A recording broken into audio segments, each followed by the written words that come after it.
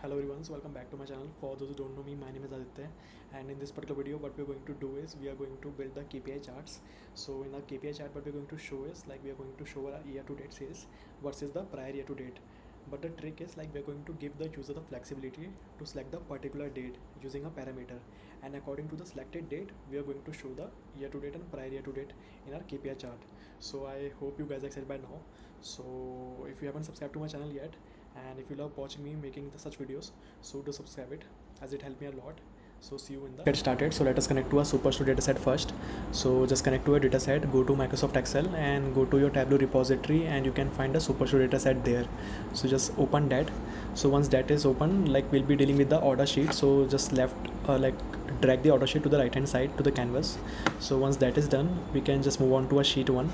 So in this particular case what we are going to do is we are going to create a calculation for year to date and prior year to date but according to the user selection right? So the first of all like we need to do is like we need to create a calculation for selected date. So the end user can select the date right? So how to do that? Like we'll be creating a parameter. So just rename it as selected date and we can just change the data type to date type. And as if now we can just select the current date today's date. Click on ok and just show the parameter. Perfect. So as if now as if now our parameter is not wired but before wiring it up like we need to do some calculations right? So before moving on to calculation let me just create a table. So we'll get a brief idea. So so what we can do is we can just drag the order date to the row shelf and we can just do it the exact date. So once that is done like we can just go and do it discrete field. And so now all the order date is showing from 2022 to 2023 so now what we can do is we can just drag the sales to the text shelf. Perfect. So as if now like our latest date is 30th december 2023 right? So what we are going to do is now we are going to create a calculation for year to date first. So year to date sales. Okay. So what we are going to give condition here is like if our year of order date is equal to year of our selected date that the user selection user is selecting right? And one more condition we need to give is if our order date is less than or equal to the selected date right? Because we only want to show the year to date per the user selection right? So that's why the second condition is there. So now what we can do is uh, one simple thing we can do is like these two conditions we can wrap it inside a integer field. So what will happen is like if this condition is true it will give 1 if this condition is not true it will give 0 right? And we can multiply it by the sales field. So if this condition is true then it will be 1 and if it is 1 and into sales so it will provide the year to date sales right? So just click on apply click on ok and you can just drag the year to date double click year to date sales. So you can see all the values are coming out to be 0 right? But like year to date like it is like 16th of uh, May right? So if I go to 16th May of 2023 so it, our data should be there. So you can see till 16th May we have our data and it will be like from 1st of January I guess. So just scroll a little bit up. Yeah it is starting from 1st January right? So our year to date calculation is perfect. So now what we can do is we can just duplicate this calculation. And we can just click on edit. And we can just make one more calculation for prior year to date sales so now we're just going to do a little tweak in our calculation. So for our first condition like our year of order date is equal to year of order date minus one like one year prior to the year like 2023 then the prior year will be 2022 right? And for the order date what we're going to do is it should go like one year back to the particular time period right? So what we can do is we can use our date add function. So what it will do is it will uh, add the dates like it will go to the particular timeline. So just let me show you the Tableau documentation. So if i click on here and if i click on here so you can see adds an increment to the specified date and return a new date right? So what we are going to do here is like a date add and we want to go here and we want to go one year back. So minus 1 and according to a selected date right? So just close the bracket. Perfect. So if these two conditions are true then it should provide the prior year to date. So once i click on apply click on ok and double click on it. So you can see uh, as if now it is not showing okay yeah it is a prior year to date is move on to right hand side. So you can just drag this up. So the prior year to date like it will be like in the same timeline like it will be like 16th of May 2022 our data should be there like a 16 May 2023 should be compared to 16th May 2023 right? So just go scroll up. So it is coming out to be correct. And it should be till 1st January. Puff second January data is it is there. For 1st January it is not there. Perfect. So our calculation is working fine. So this is a logic building activity that we have done now. So i hope you are clear with that. So if you're so if you're new so if you're new to the channel and haven't subscribed it yet so do subscribe it as it helped me a lot. So let us move forward. So now we'll be moving for our kpi design. Okay. But before moving to kpi design let me just add one more sheet. And but we are, what i'm going to do is i'm just going to do year to date sales prior year to date sales. And now what I'm going to do is now I'm going to create a percentage change prior year versus percentage percentage change. Year to date versus prior year to date right? So what I can do is I can just sum of year to date minus sum of prior year to date and divided by sum of prior year to date. So what it will do is it will give it a percentage right? Year over year change it will give. So once i click on apply click on ok and just click on the text field. Drag it to text field. So it is coming out to 25 percent. So what i can do is i can just go to format and we can just give it a percentage and we can just provide custom format. So in this custom format what i'm doing here is i'm just giving plus plus 0.5 percent. I'm just copying it. Then i'm giving colon and command v and minus.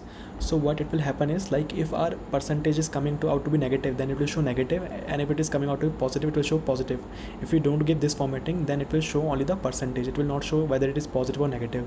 So for showing positive and negative percentage we need to change the format like this. Perfect. So now our all the calculations are working fine right? So now let us move on to our kpi design. So what i'm going to do here is i'm just going to drag the sales to the row shelf and our ordered date to the column shelf and drag it to our exact date. Or what i can do is i just select to month because exact date will be more number it's like more data points. So what i can do is i can just create one calculated field and i can just provide one date filter. That will be like our user selection one. So if our order date is equal to the selected date till that date we want to show the data points. So click on apply click on ok and just give it to the filter shelf and select true and click on ok perfect. Okay yeah i've given one mistake. I will just uh, edit this calculation.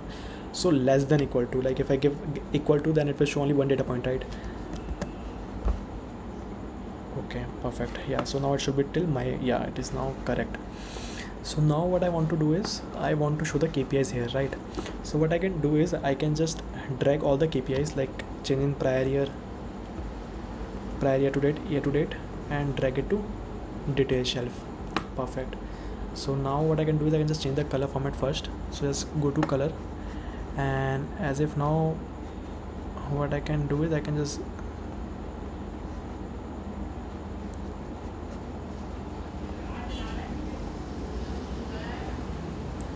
give it as a this color. Uh, so let's just let me check my color. Perfect. So this color I'm just giving as if now. And we can just remove the title from the axis. Perfect. Click on cut. So now what I'm going to do is uh, now I'm going to write the big KPIs here. So I can just go to KPI design and just remove the sheet. And we can insert all our metrics that I've created. Aggregated one sum of prior year to date says but i have been not dealing with this. So enter. And year to date says okay.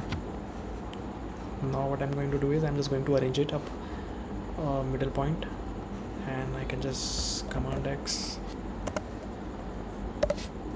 command v versus prior year okay. And I can just give it some font like as if now I'm just giving it as Geneva. And for this I'm just giving it as a like the year to date one as a 20 number. And for the down one percentage one I'm just giving as a 15th okay. And for the year to date also I'm uh, like the percentage and the year to date sale I'm just bolding the point versus the other. And click on apply. Click on ok so as if now you can see like our numbers are not showing correct right? Like it is showing the range. And this is showing like minus 1 but it should be like our number should be like year to date should be 189 uh, 323 and our percentage change should be 25.79 percentage right? So our so in our KPI card like it is not coming out to be correct. So why it is so? So as if now what we are doing is we are going we are showing the line graph so what it is taking is like it is taking the range of the values. Like like in this particular line graph each point shows one range right? So for the year to date like it is taking all the points and it is showing us the range. Like from like 16th May 2025 uh, 2023 from sorry so from 1st January 2023 to 16th May 2023 it is showing us all the range values. So that's why it is showing the range. So for uh, doing it correct what we, can, we have to do is we have to use the table calculations. So we have to use one function that is known as total function to remove this issue. So how to do that? So what I can do is I can just click on this prior year to date and create a calculated field. And just I can write for prior year to date I'm not showing so I'll just not do for that. So for year to date I'm just creating a calculated field. And I can just name it as total year to date sales. So it will just uh, sum all the ones. So I can use total function here. Inside it? Sum of year to date. Perfect. Click on apply click on ok and remove this remove this and just you can drag the total year to date one to the detail shelf. And same thing we have to do for the percentage change. So create a calculated field and just I can write the total percentage change. And I can just use total function inside it. Since it is aggregate function so I will not use sum here. So click on apply click on ok and drag the into detail shelf. And in the calculation we can just change it. So we can just add our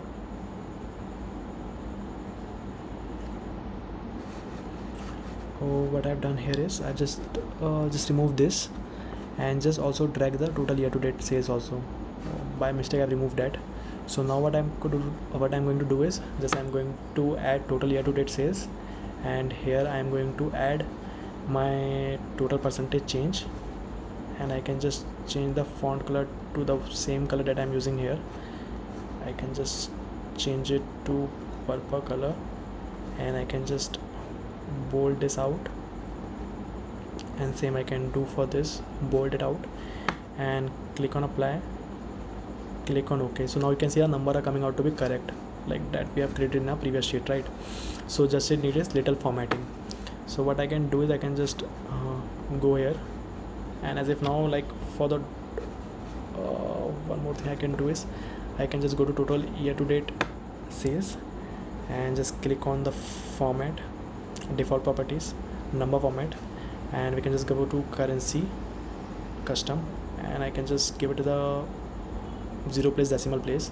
And display unit I can just give it as a, a thousand suppose and click on ok perfect. So like it should not be rupee sign it should be dollar sign because this is the US store data. So what I can do is I can just go again back to format and just change the currency to dollar here. Okay perfect. And for the same thing percentage change I can just go to format and change it to number custom. Percentage. One place decimal. And I can just give the same format that I showed you plus 0.0% and command C minus 0.0% perfect. And what I can do is I can just give little bit space here and click on apply click on ok perfect. So what I can do is I can just duplicate this two sheet and I can just do same thing like a line uh, area graph or same thing what I can do is I can just do it as a bar graph if I want to do right? And I can just give it the manual size and I can just increase the width according to the need. Perfect. And I can just uh, remove the header from all the sheets. And we can also remove the headline uh, grid line. None. Same thing we can do for this format. And go to grid line and do it as a none and grid line format and as a none. Perfect. So now let us just move on to our dashboard screen. So i've just put all the three kpis that we have built in this particular video. So fix size uh, as if now just give it the 600 by 600 and what I can do is I can just add my vertical container first. I can give the inner padding as 20 then I can add the blank object. So what it will do is you can see the inner padding. I've done 20 that's why it is showing some spaces. So once that is done what I want is I want to give KPI side by side. So what I can do is I can just use my horizontal container first inside it. So just drag the horizontal container and what I've done so so I can just add the KPI this is my first KPI this is my second KPI and this is my third KPI right? And I can just increase the custom size to be 800 suppose. Command Z. Not for the height for the width I want to give it the 800 perfect. And now what I can do is uh, I can just add the parameter selected date. Perfect. And I can just add it inside it and what I can do is I can just add the dashboard title to it. And that will just drag back command A. And I can just give a title as 18 and I can just give it a tableau semi bold and I can just give it the bold color. And the same color I can give it the same color as the KPI one. And I can just remove this side. What I can do is I can just give it a bold black color and click on OK. Perfect. So if I can also remove this extra lines show header and show header. One more little bit text here. So I can just add like my name professor uh, channel name professor analytics. And what we can write here is I can just write tableau calculations made easy and command A and give it a format uh, in between. And I can just give it as a color click on OK and just drag it down. So as if now like I am not using like perfect color here. So this is just for demonstration purposes. That's why I've given used like a certain color. You can use uh, the color that is suitable for the dashboard that you are designing. So I just wanted to show like the calculations that you're building. So in this particular case like the map is not or like the bar is not coming out of fine so we can just reduce the size and we can just go to dashboard. Or what we can do is I can just go back again and size I can just give it as zero only. Dashboard perfect. So now it is looking correct. Now it is looking nice right? So what we can do is we can just do a little bit more formatting in our tooltip and all. So i hope you learned something from this. And if so do subscribe to the channel and share it with your friends if possible. So see you soon in the next video 拜拜